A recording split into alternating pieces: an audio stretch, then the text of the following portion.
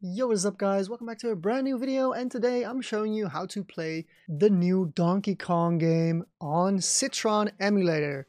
And as they say on their website, piracy is not supported nor leaked games by them or me for uh, potential legal reasons aka Nintendo Dev Squad. Anyways, Citron emulator, yes, I've talked about Yuzu and Ryujinx. Both were killed by Nintendo, even though Ryujinx was always fully legal and Yuzu was mostly legal. But yes, Citron emulator is another Switch emulator. On their website, citron-emu.org, you can download their latest version. It will send you to their Git and you can scroll down to where it says Citron Windows Canary Refresh if you have Android, you can use the app mainline release APK, and if you have Linux, you can use this one. Now I have Windows, so I'm going to click on this, and it will download the zip file. And once that is done, you open the zip file, you extract everything, and in their folder, you will have citron.exe. Now, if you open Citron, in this case, Windows try to protect me from having a good time, so press more info and run anyway. Now, it will tell you the encryption keys are missing. Next to my guide, please have a look at their quick start guide if anything from the video is not clear enough.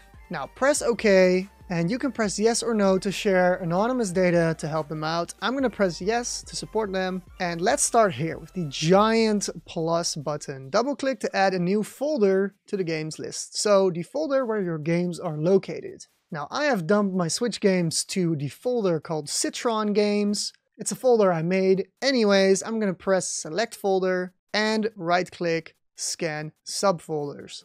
Now, you notice that the games are not showing up, and that was because of that error earlier on, which had to do with prod keys and title keys. Now to add those, you go to File and Open Citron folder. Now in here there will be a folder called Keys, and you will have an auto-generated file, and this is where you want to paste your prod and title keys. So I'm going to drag them here, and after that you can close this window, you can close your browser of course, and close Citron, and after this, reopen Citron. And as you can see, all my games are showing up, including Donkey Kong Country Returns HD.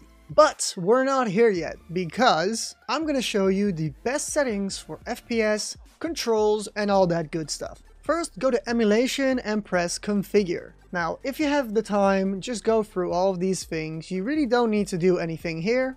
And under System, you can change your language, region, time zone, device name, memory layout. Keep in mind these are unsafe, but feel free to try them out.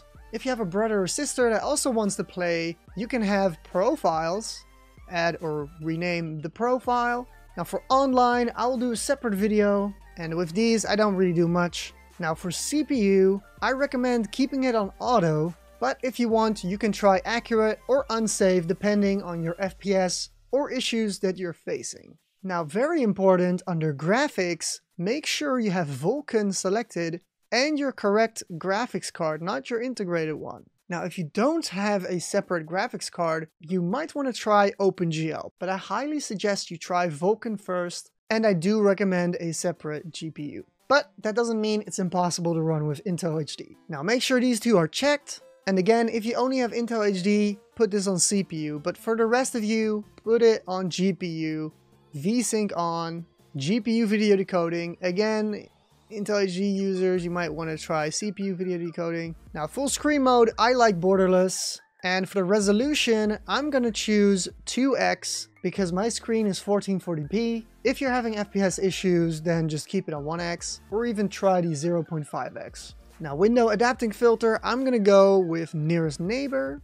If you want the sharpest sharpness, you can try the super resolution from AMD. And anti-aliasing mode, I'm gonna go for SMAA, which is the smoothest looking. This is for the AMD super resolution the sharpness, you can tweak that. But what is also very important is under advanced graphic settings. Editor Tristan here. Now don't check enable asynchronous presentation because then my game crashes on launch. Now for the rest you can check all of these if you want. I'm not checking sync to frame rate of video playback because I use VSync. Now accuracy level, if you have some FPS issues, choose normal. I'm going to keep it on high and anisotropic filtering, I'm going to put on 16x because I know I have the power for it. And ASTC recompression method, I'm going to keep it on uncompressed. And VRAM usage, video memory, basically, usage, I'm going to keep it on conservative but you can try the more aggressive option if you're having FPS issues. Alright, back to the present me. Now for audio, I'm not touching these. This is where you can change your audio output device. I am going to change that. And the volume, which is very important. You can boost it to 200%, which is very nice. Um, I'm not going to do that. I'm actually going to put it on like 20%. You can even choose to mute audio when it is in the background. Now, another very important thing is how you're going to play the game. So under controls, I like to use the Pro controller, but some games don't allow that. So in that case, I would go with dual Joy-Cons. So for the sake of that, I'm going to show you how to set it up with my Xbox One controller. So I'm going to choose it. Obviously, if you don't have a controller, and don't want to buy one, you can obviously just play with your keyboard and mouse. Just make sure you know the buttons like X on your keyboard is A on the controller, so stuff like that. Now as you can see, my controller works, I have no drifts as you can see from those circles down there, and you're basically set up. Now I'm going to disable motion and keep vibration enabled. You can disable it, configure both of these. If you have a PlayStation 4 controller, you can even keep the motion on because it has motion in the controller. Now make sure console mode is on docked to get the best performance and the best look to the games. And from here, you can make a new profile, name it as you want, and press OK. Now you can save that profile. If you want to play with multiple people, obviously go to player 2, make sure this box is green, and then choose their controller, set it up as you want. I'm not going to do that now, but uh, yeah, press OK, now we're basically ready to launch the game, but if you have updates or DLCs in the future, which I don't right now, you just go to File and Install Files to NAND, and you would select any of your updates.